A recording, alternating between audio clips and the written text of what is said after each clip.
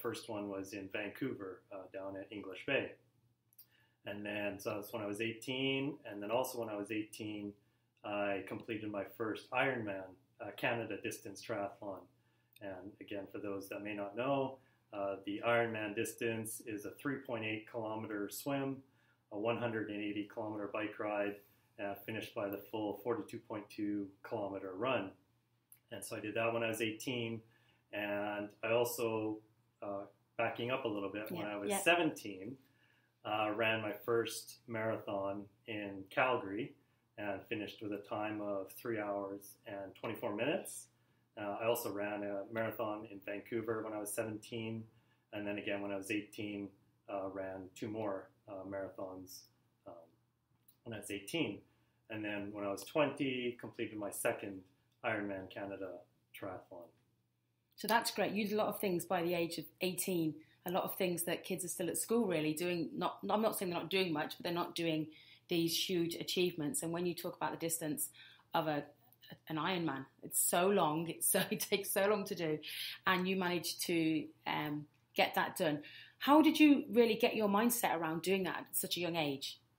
At that time, I guess I was a little bit brash, you could say. Okay. And a little bit of one-upmanship, where ran a 10k and so if I ran a marathon, you know, I could say that I ran a marathon, yeah. um, or do a triathlon, and then stepping it up to Ironman distance. So it was a bit of a bravado um, okay. thing at the time. It worked though. You ran one, didn't yeah, you? It so, did, yeah. Uh, but I mean, I'm glad looking back at it. I mean, it's an achievement, and for me personally, it really took me out of a comfort zone, and it forced me uh, to to concentrate on training, and actually it created a lifestyle, uh, a healthy lifestyle. Um, I, I, may have just sat on the couch otherwise, yeah, or or you know at the computer or something like that. But I wanted to be outside, and again, looking back to my elementary days, I didn't like being in school. I didn't like being in the classroom. I'd right. always look out the window. I wanted to be outside. I uh, didn't really enjoy being indoors, and so that was an outlet for me uh, in addition to being a challenge and and creating a lifestyle basically that uh, a healthy lifestyle and a goal. I also also found that in the years that I wasn't training for Ironman or that uh, I kind of felt lost a little bit yeah. because there wasn't this goal that was months away and there's this constant target that having to reach certain levels all the way along uh, in order to reach the final goal uh, and not and those years that I didn't have that, I felt a little bit lost and a little bit aimless uh, during those years. Isn't that interesting in elementary that you were looking outside, knowing that you should be outside, and then look how your life is now sculpted now? And one thing that we do in the curriculum here in BC is we talk about children going towards what their passion is, not necessarily being an A and a B student and trying to excel academic, academically. We talk about children doing what they're supposed to do and go towards their passions. So it's, it's almost like you did that back then without realizing. I know it looks like you're going against the grain, but it's interesting you say that you sat in there looking out, thinking that you should be outside. And that's where, once you had the opportunity to be outside when you're in grade 12, you were. You know, I know you did it earlier than the grade 12, but that's when you had the big events that you you trained for and did that. Now, did you get much support when you were young in kind of going towards those events? Or did you find that you did a lot of training on your own? Well, I did a lot of training on my own just because of the physical output of it. Um, a lot of my friends, although they were cyclists or that, mm-hmm. uh, they still may not have been wanting to go out for that long, As long. ride. Yeah, and yeah. that. So, and then for running, um, a lot of my friends weren't runners, so I would have to go out and run and swim. So a lot of the training was by myself, uh, which is fine. I'm okay with that. And then as far as support, yeah, my friends really enjoyed. You know, they'd sometimes come out and watch. Okay. And my parents actually really enjoyed uh, coming out to watch when I was a teenager. And you know, when I first did Ironman, you know, my mom was, you know, so proud. Oh, so proud. Yes. you know, so yeah, you worried, screaming at worried at first, yes. right? Of, of, you know, saying I'm going to do this. Yeah. And a little bit apprehensive, but after I'd done it, and then the second time, you know, coming out to watch, you know, she loved to be able to come out and watch the, the running events or the, the running and biking Anything where events she or could the just triathlon. surprise. Yeah, Yeah, she and so yes, then by. afterwards she was always excited to be watch watch it, be part of it, and, Yeah. and enjoy that. No, that's good. Where do you think your inner drive came from? Like you seem to me from a very young- young age, I've had something in you that has this amazing inner drive. Do you think that was instilled in you as a child? I t- talked earlier about me having it given to me as a child from my parents. They made me very ambitious from a young age by just mere support in doing things that I did. Where could you kind of explain your inner drive? Because a lot of people at that young age don't have it. Where do you think that came from? I think it's just something really I was born with, Okay. and so just by nature, um, that was the gift I was given. Yeah. And and everyone has a talent, and whether it's one talent or two talents or five talents, um, everybody has some sort of Yeah, talent. My true. talents maybe a little bit different. Yeah, it's okay. We like to be different. That's yeah. right. Um, so we all use our talents and, and that, and so I think that was what I was given, and the gift, and just and also my parents. Uh, they're super talented people. Uh, my dad is a professional musician and plays multiple instruments, and he's been doing it for a long time. Yeah. And so, I mean, he's very good at what he does. And then other things that he does as well. He's also very talented at it. Actually, I'm a little bit jealous of all the things that he's capable of doing. And that, but just all through my family, a lot of people, like my cousins that played hockey and, and others. So I think it's So you've been a family of high achievers then as well, haven't you? Where you've been given goals yourself, not people haven't directed the goals towards you, but you've had the goals and you've it's not looked impossible, has it? Right, exactly. You know, when your dad's doing his music, musician and he's, he's learning all these instruments, he's not thinking, oh, I can't learn this. I already know this. And your cousins that have done hockey and been doing well at that, Yes. they haven't thought, oh, how high can I get with this? You know, they know they've done well with it. So I think probably, you know, I talked earlier about surrounding yourself with people that kind of have that positive and that, that driven way.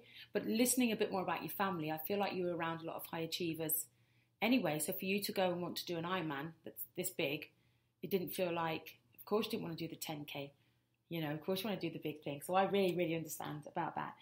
How do you think the breakdown of everything came together for you and fitting it in? So you're still a young man, you're age 20. How did that fit in with just everything in your life that's going on at that time? Well, after doing the second Ironman, which I really enjoyed, uh, again, coming off of that, I do tend to find I was a little bit lost, a little bit aimless, uh, trying to find something that would fill that same what I got from the Ironman and from the training. Like I enjoyed the training so much, and to find something that has that discipline, has that output, and oftentimes I couldn't find that and so I did feel a little bit aimless uh, for a while. Right. Um, but you know, now coming, you know, years later now, uh, or when I moved to Kelowna, I I moved to Kelowna just to train uh, for Ironman Canada, and because I wanted to be here in the climate uh, close to Penticton, uh, where it's hot in the summertime to train in that, and and so again, coming to Kelowna, I felt that sense of uh, direction, the sense of aim. Uh, there was a target at the end, and uh, so I really enjoyed getting back into the training, um, coming to Kelowna, and then after so living here in Kelowna, I was able to do Ironman Canada three more times, so for a total of five times. And but moving here, I moved here. I was a summer boy, and really enjoyed the heat of the summer, and really didn't really enjoy the winter. So during the winter, I often wouldn't do very much sit around. I was about to ask you No. Uh, about your training. That was my next question. I was right. as soon as you said that, I was going to ask you about your winter training. So you really went hard from April to November, would you say? Or October, yeah. Okay. Once, once Oh, even weather, October. Once the weather changed. Yeah. And, and yeah, and then in the winter, I would ease back, and come springtime again, think I still had the same fitness level, Okay. and realized that I had That you didn't. lost. So you know, I Yeah. had to build it up again. Had to get ambitious and- again and to do that. the Okay. top, but, Yeah. And then somewhere around 2006, 2007, uh, started doing a little bit of snowshoeing in the winter and en- enjoying it. Yeah, because you know Um, it's strenuous because you probably went for a long way. You didn't probably go for an hour. You probably went for five hours, didn't you? Or That'd be right. a few hours. Yeah, you anyways. would. You'd probably go longer than an hour. So although it was strenuous, it's quite enjoyable to snowshoe. Um, it's less injury prone as well. So you probably didn't injure yourself doing that, Oh, did no. you? No, because No. it's, it's soft impact and it's nice terrain that you kind of just have to. and I felt that it was it was a really good workout Yeah, in the is. sense of it's it provides the resistance in the snow, and, It's heavy and you have to push in in the there. snow and- Yes. and that's how I found it was a very good workout.